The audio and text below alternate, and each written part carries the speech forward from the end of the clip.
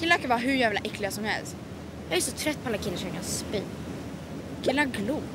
Ja, Killar ljuger. Killar luktar illa. killar fiser. Killar behövs verkligen inte. Vi tar paus från alla killar. Vi skiter i dem totalt. Är du med?